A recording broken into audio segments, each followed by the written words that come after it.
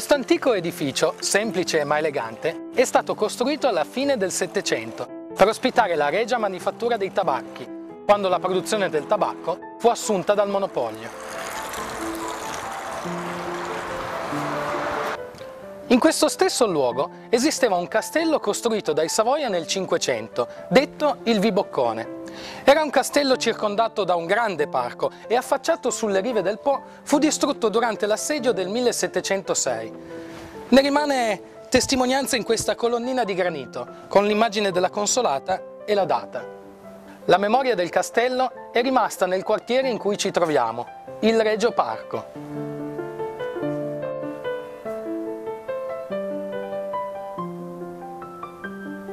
Qui ha sede dall'anno 2001 l'Archivio Scientifico e Tecnologico dell'Università di Torino, che fu fondato nel 1992 e che celebra oggi i suoi primi vent'anni di attività. Tutto nacque negli anni Ottanta, quando si incominciò a diffondere fra alcune persone che operavano nell'Ateneo una sensibilità particolare verso le testimonianze materiali della scienza del passato. Sensibilità stimolata anche dall'assistere alla dispersione e completa distruzione dei cimeli, alla profonda trasformazione di ambienti che venivano destinati alle nuove esigenze della ricerca o dell'insegnamento. Trasformazioni che però non tenevano conto dell'importanza storica dei luoghi e che venivano condotte senza documentare adeguatamente le situazioni preesistenti. Nel 1991, come risultato delle riflessioni e delle indagini condotte sul patrimonio storico-scientifico conservato nella nostra università, ma anche in altre istituzioni torinesi, fu organizzata da Galloni, che ne fu appunto il curatore, la mostra Strumenti ritrovati. Trovò una sede prestigiosa nelle sale dell'Archivio di Stato, disegnate dallo Juvarra si poté allora dare una dimostrazione concreta della ricchezza costituita principalmente sì dagli strumenti scientifici, ma anche da tanti altri tipi di testimonianze materiali, nate appunto dall'attività di ricerca e di insegnamento di un'università vecchia più di 600 anni. Questa mostra fu un segnale forte e che permise di evidenziare l'esigenza di una cura costante e non episodica di quel patrimonio. Così il magnifico rettore del tempo, il professor Mario Umberto Dianzani, personalmente sensibile a questi temi, si adoperò per far nascere una struttura nell'Università di Torino che avesse per scopo proprio la salvaguardia e la valorizzazione delle nostre ricchezze storico-scientifiche. Sì, io ho sempre avuto una grande passione per la storia e per le cose vecchie, per le cose antiche. Quando inopinatamente diventai rettore nel 1984, mi meravigliai moltissimo che un'università storica come Torino non avesse né un archivio storico né una, un archivio dei, dei grandi apparecchi. l'istituto era piccolo, non c'era spazio, i nuovi apparecchi prendevano molto spazio e allora gli allievi che pensavano alle loro ricerche evidentemente volevano portare tutta questa roba in soffitta. Io pensai che dovessi a un certo momento cercare di fare qualcosa viceversa per eh, conservarli, conservarli in un posto, in un centro, in eh, cento grandi apparecchi antichi. Pensavo che eh, l'avere, uh, mettere tutti insieme gli apparecchi scientifici antichi fosse qualcosa che abbellisse l'università. La prima sede fu nell'edificio dell'ospedale di San Giovanni Vecchio, nella Manica al piano rialzato su via San Massimo, un tempo occupata dal reparto degli incurabili uomini, più recentemente utilizzata dall'Istituto di Mineralogia e dal relativo museo, che nel frattempo avevano traslocato. Primo presidente fu il professor Guido Saini di Chimica Analitica e primo direttore fu il dottor Carlo Trossarelli. Sono stato il primo eh, direttore dell'archivio scientifico tecnologico dell'Università di Torino. Eh, appena seppi che stava eh, per nascere questa istituzione mi sono subito precipitato a propormi eh, appunto come direttore in quanto mi sono sempre interessato agli antichi strumenti. Eh, essendo stato conservatore del Museo di Mineralogia sapevo che c'erano degli spazi liberi in via San Massimo dove avremmo potuto eh, ospitare i, gli strumenti eh, recuperati. purtroppo non disponevo di un ufficio eh, apposito e utilizzavo la mia scrivania eh, presso il Dipartimento di Scienze della Terra che era appena nato. Ehm, data questa necessità eh, cercai in qualche modo di trovare una sede a Concia e riuscii a recuperare eh, due stanze eh, a Palazzo Carignano, una sede molto degna e anzi direi quasi di prestigio. Nel frattempo ci furono molte partecipazioni a vari congressi nazionali ed internazionali, dove Galloni, che allora era vicepresidente, presentò delle relazioni sull'organizzazione e i fini dell'archivio. Ancora prima della fondazione dell'Astut, Galloni aveva presentato una ricerca ad un congresso della Scientific Instrument Society sui fabbricanti piemontesi di strumenti scientifici tra 700 e 800, dando una dimostrazione di come si possa fare ricerca partendo effettivamente dai reperti materiali. In un altro congresso al Politecnico, nel 1991, Galloni aveva spiegato perché l'ente che si andava organizzando non dovesse avere il titolo di museo, ma piuttosto di archivio, proprio per sottolineare la pratica impossibilità di realizzare un vero e proprio museo aperto al pubblico, ma piuttosto di creare una grande collezione allo scopo di salvare e conservare i reperti, per farne poi magari oggetto di mostre e di attività didattiche oppure divulgative. Un'altra importante occasione fu un congresso a Firenze nel maggio del 1995, in cui Galloni poté mettere in relazione il felice momento della ricerca biomedica a Torino, nella seconda metà dell'Ottocento, in pieno periodo del positivismo, con gli strumenti realizzati da personaggi quali Angelo Mosso, Carlo Giacomini e Giulio Bizzozero. Le prime iniziative dell'Astut permisero di allargare il campo di attività anche fuori dall'Ateneo, ad esempio collaborando al riordino dell'importante fondo di strumenti conservato nel Real Collegio Carlo Alberto di Moncaglieri.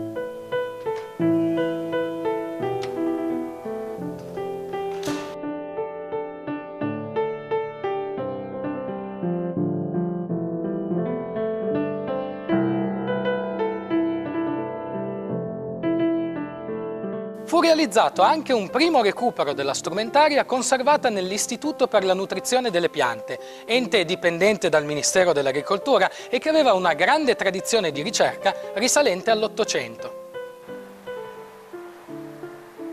Nel 1997 la direzione passò al dottor Giuseppe Slaviero, che dovette organizzare il trasloco dell'intero magazzino, nel frattempo arricchito dai molti recuperi effettuati, dalla prima sede in via San Massimo ai vasti spazi utilizzati dall'università per gli archivi del centro commerciale Piero della Francesca, in Corso Svizzera. In questa sede il magazzino fu organizzato con scaffalature per pallets che rendevano razionale e pratica la movimentazione degli oggetti, grazie anche ad un apposito mezzo meccanico. In quel periodo, fra le attività esterne, vi fu un'installazione nel 48 congresso internazionale di astronautica, con antichi strumenti di fisiologia per lo studio della respirazione in alta quota. Nel 1998 fu nominato presidente il professor Gianni Losano di fisiologia umana e con il finanziamento della provincia di Torino fu realizzata la mostra itinerante Il mezzo secolo d'oro della medicina torinese 1860-1910 che ebbe la sua prima edizione a Pinerolo. Dopo il professor Saini io sono stato il secondo presidente dell'Astut. Durante il periodo in cui sono stato presidente, l'Astut ha organizzato a Pinerolo una mostra sul mezzo secolo d'oro della medicina torinese che ha avuto molto successo ed è stata tenuta in una vecchia chiesa sconsacrata di proprietà del comune. Successivamente a Pinerolo è stato anche organizzato un convegno sulla figura di Mucchiere Buniva. Eh, gli atti di questo convegno sono successivamente stati pubblicati dall'Astut stesso. Nello stesso anno, collaborando con l'Università di Firenze, si arricchì la mostra presentata a Vinci, La scienza della visione, con molti strumenti ritrovati nella clinica oculistica torinese. Nell'anno successivo la mostra itinerante fu portata a Chivasso, con una sezione speciale dedicata ai primi organi artificiali, cuore e valvole cardiache, che avevano avuto proprio un pioniere in quella zona nell'ingegner Bosio. Ma non soltanto, anche una realtà industriale nella Sorin di Saluggia. Vi fu anche una mostra nel Museo regionale di Scienze Naturali per ricordare i 150 anni della Facoltà di Scienze, in cui l'Astut ricostruì due ambienti di ricerca ottocenteschi, uno di chimica e l'altro di biologia animale.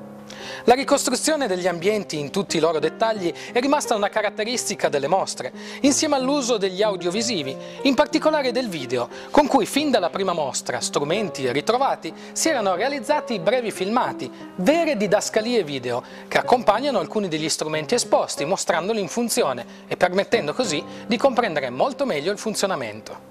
Sono stato direttore dell'archivio dal 1996 al 2004. I primi impegni sono stati l'allestimento dell'ufficio in Palazzo Carignano e il trasferimento del magazzino dal San Giovanni Vecchio al Piero della Francesca.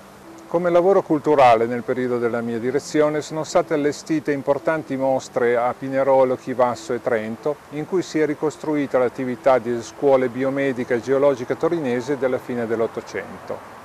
Un lavoro culturale che ricordo con particolare piacere riguarda la figura di Michele Buniva, medico pinerolese del periodo della rivoluzione francese e della successiva annessione del Piemonte alla Francia.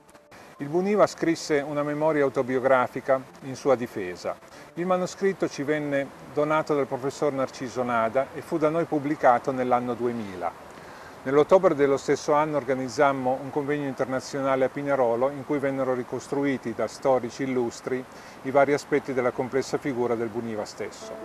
E fu proprio il giorno dopo il congresso di Pinerolo, il 15 ottobre 2000, la giornata più tragica per l'Astut, perché la piena della Dora Riparia, dopo aver portato gravi danni al corso superiore, inondò una piccola parte di Torino in cui però c'era il grande magazzino degli archivi universitari, che furono sommersi da 4 metri di acqua e fango. Questo vasto edificio fu poi per mesi sede di un grande lavoro di recupero dei documenti e degli oggetti danneggiati. La percezione della gravità dell'alluvione fu avvertita lentamente dalla città di Torino, anche perché la zona interessata in effetti è limitata però qui l'acqua arrivò molto alta, soprattutto nei nostri locali che si trovavano al di sotto del piano stradale, per cui l'archivio storico e l'archivio scientifico e tecnologico furono letteralmente riempiti di tre metri di acqua.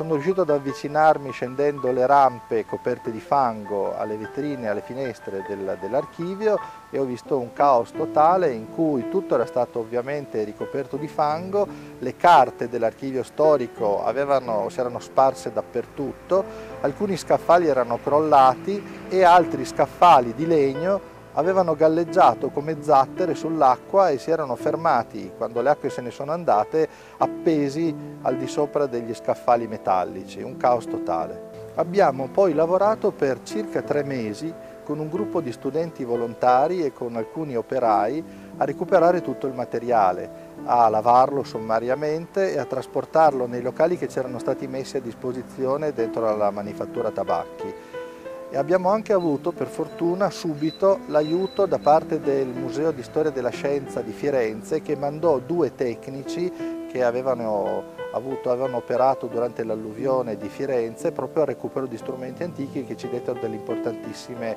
informazioni. Possiamo dire che circa il 70% degli oggetti alluvionati è stato recuperato. In quello stesso anno 2000 inizia un'importante collaborazione con il Festival del Cinema della Montagna di Trento, portando una mostra su Angelo Mosso e la fisiologia di montagna. Si proseguì poi l'anno successivo con un'altra mostra, intitolata Anatomia della montagna, nascita e sviluppo della scuola geologica universitaria torinese tra 700 e 800. Nel 2002 si celebravano i 50 anni del festival e l'Astut organizzò una mostra sull'evoluzione tecnologica del cinema. 50 anni dopo, il Festival di Trento attraverso la storia del cinema di montagna. Intanto, nel 2001 la presidenza era passata al professor Galloni. La mostra del 2002 a Trento, organizzata in occasione del Festival del Cinema di Montagna, fu particolarmente importante perché fu realizzata chiedendo prestiti al Museo del Cinema di Torino e a varie collezioni private, dimostrando in questo modo che potevamo organizzare delle mostre e degli eventi anche senza usare unicamente le, gli oggetti conservati nei nostri archivi. In più questa mostra ci diede l'occasione di riscoprire le testimonianze, anche gli strumenti e i filmati realizzati da scienziati dell'Università di Torino a partire dagli anni 30 e qui ricordo il nome di anatomici e biologi come Giuseppe Levi, Roberto Megna, Giuseppe Vicarelli e Giovanni Godina che utilizzarono appunto questo mezzo in modo molto importante. La collaborazione col Museo del Cinema di Torino è poi proseguita con l'incarico che abbiamo avuto di ricatalogare le apparecchiature legate al periodo del cinema muto qui a Torino e questo lavoro ha portato alla pubblicazione di un importante contributo in un volume. Nel 2004 la grande mostra che fu organizzata per celebrare i 600 anni dell'Università di Torino comprese anche la ricostruzione dell'apparato cinematografico al microscopio utilizzato da Giuseppe Levi e da Omegna negli anni 30. Le competenze così acquisite sulla storia del cinema ci hanno portato a collaborare ancora con il Museo dell'Automobile di Torino per il quale abbiamo ricostruito un set cinematografico degli anni 30 all'interno di una mostra sulle marche automobilistiche torinesi. Successivamente ancora, nel 2008, abbiamo partecipato ad un congresso organizzato a Otricoli in, nel Lazio sulla storia del cinema scientifico italiano, in cui abbiamo portato un contributo relativo proprio agli scienziati torinesi che hanno utilizzato il cinema nelle loro ricerche. L'attenzione dell'Astut per i temi della storia della sanità è confermata dall'organizzazione di una mostra nel 2002 a Gassino Torinese sulla storia del locale ospedale, con l'esibizione di ferri chirurgici. Nel 2004 era divenuto direttore l'ingegner Domenico Margherita e nel 2008 il professor Claudio Sensi, della Facoltà di Lettere, era stato nominato quarto presidente. Entrambe sono scomparsi precocemente. L'attuale direttore è la dottoressa Mara Faussone.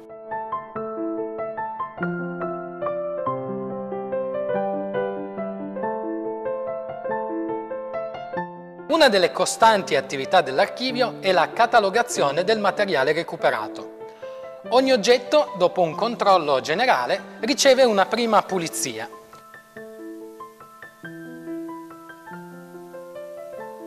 Viene esaminato, misurato e le sue caratteristiche vengono riportate su un apposito database, insieme a tutte le informazioni relative alla provenienza, al costruttore e al modo in cui è stato utilizzato.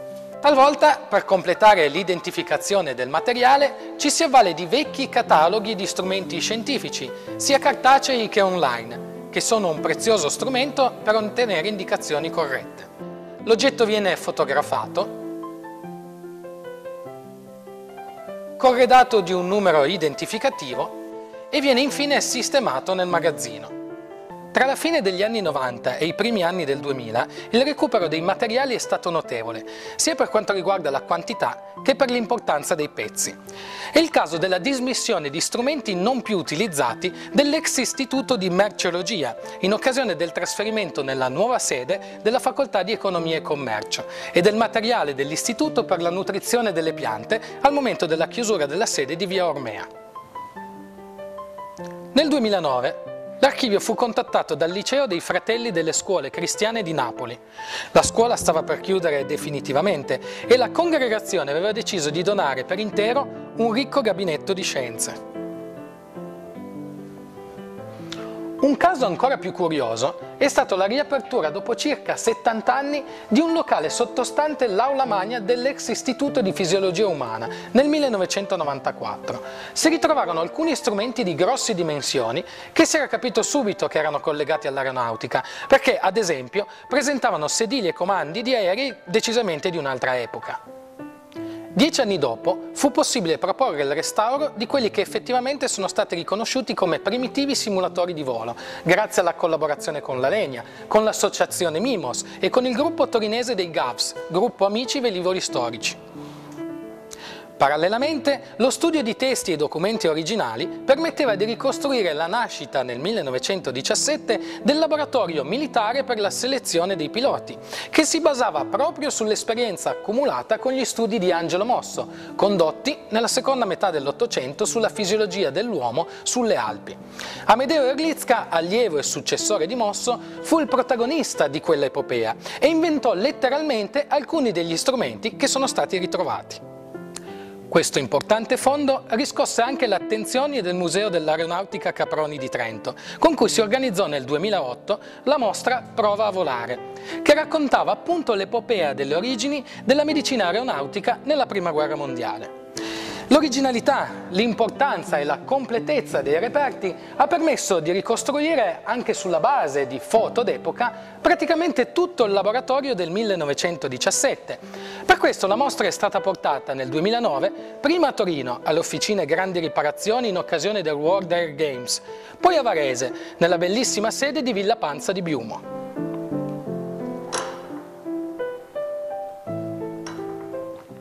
Nell'anno successivo la parte storica della mostra è stata presentata prima nel Palazzo di Torino Esposizioni, nell'ambito della più vasta manifestazione Il secolo con le ali, organizzata dall'Aeronautica Militare. Poi presso l'Aeroclub di Genova, col titolo La simulazione del volo ai tempi eroici della Grande Guerra. In tutte le edizioni della mostra è stato presentato un documentario realizzato dal regista Liborio Labbate, dal titolo Torino 1917, selezione piloti.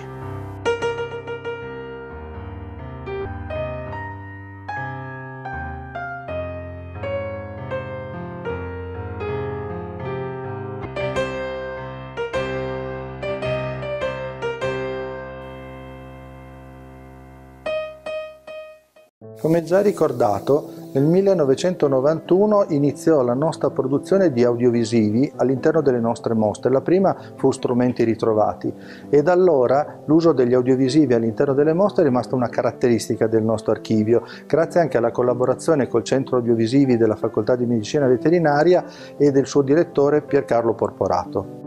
Nel 2008 per la mostra Uno strumento per la scienza, viaggio fra i microscopi dell'Università di Torino, che fu aperta presso il Museo regionale di Scienze Naturali, abbiamo realizzato un breve documentario sull'uso della camera lucida sul microscopio per disegnare i preparati microscopici.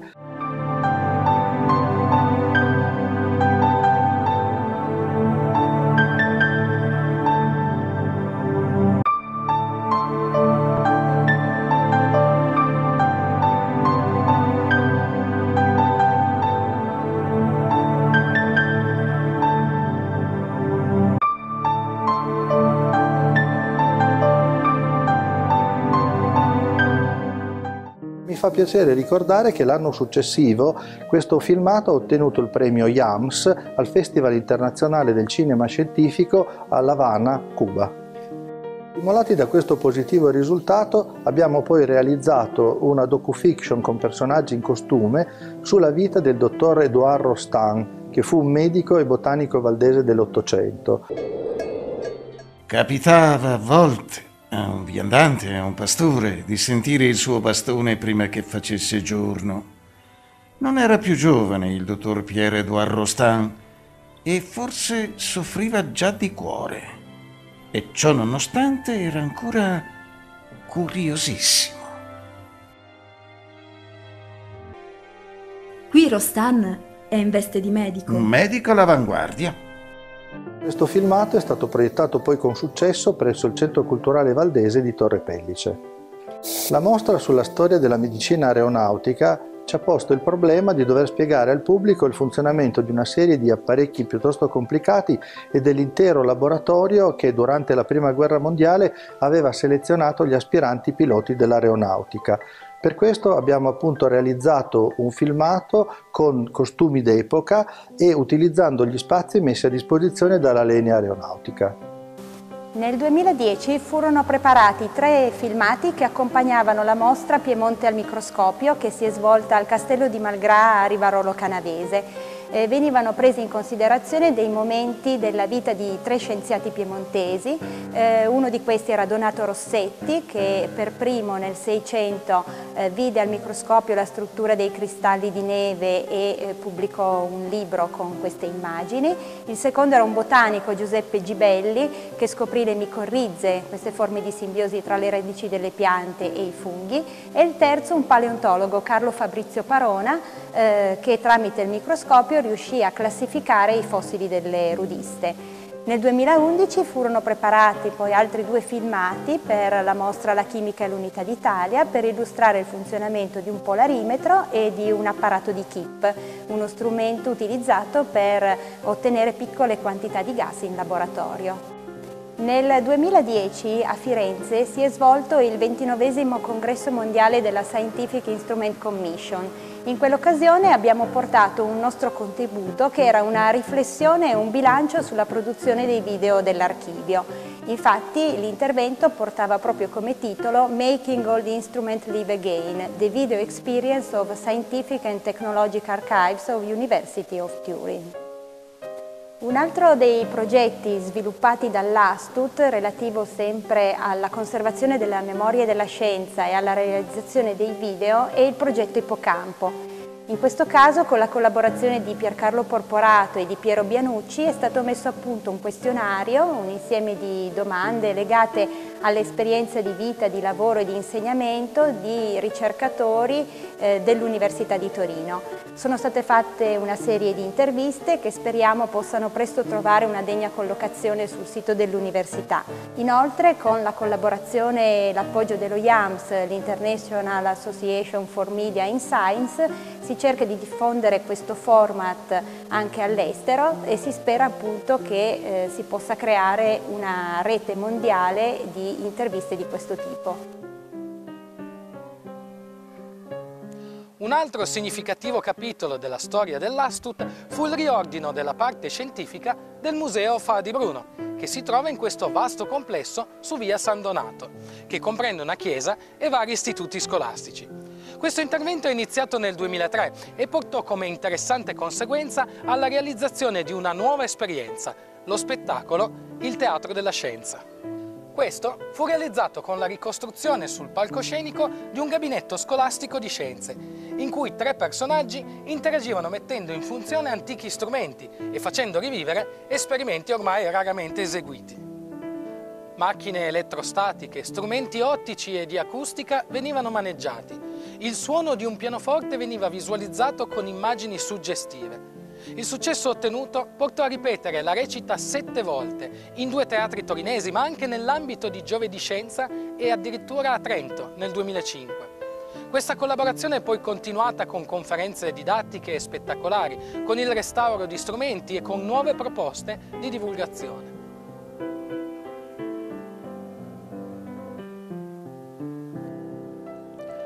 Altre esperienze di didattica sperimentale, con un continuo e particolare riferimento alla storia della scienza, si concretizzarono nel triennio 2003-2005 nel progetto Micron, dedicato agli studenti delle scuole secondarie e sviluppato per introdurre i principi teorici unitamente alla pratica della microscopia.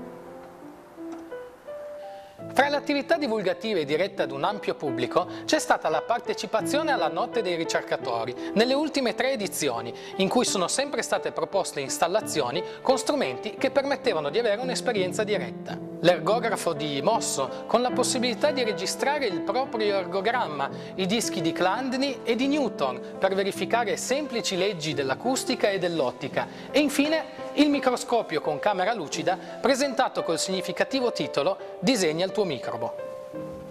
Aprendo questa porta apriamo anche un nuovo capitolo per l'Astut. Da poco si è ottenuto dall'università un nuovo magazzino, in cui per il momento si vedono soltanto grandi scatoloni e materiale imballato. Provenienti dai magazzini della città di Torino, da poco sono stati consegnati materiali molto preziosi, sia dal punto di vista storico che scientifico. Si tratta del Museo di Merceologia dell'Università di Torino, con tutti gli oggetti e i relativi arredi, chiuso con il trasferimento nella nuova sede della Facoltà di Economia e Commercio e della Biblioteca dell'Istituto per la Nutrizione delle Piante, di cui prima abbiamo detto di aver recuperato gli strumenti, che rischiavano di passare gli anni a venire in qualche deposito polveroso. L'impegno dell'Astut, oltre a continuare a recuperare gli strumenti della ricerca che nelle diverse realtà universitarie non si utilizzano più, sarà quello di restituire la giusta dignità a questo patrimonio e di farlo conoscere al maggior numero di persone possibile, con iniziative che presentino la storia della scienza come il risultato del lavoro quotidiano di tanti ricercatori del passato, alle prese con idee e strumenti di indagine.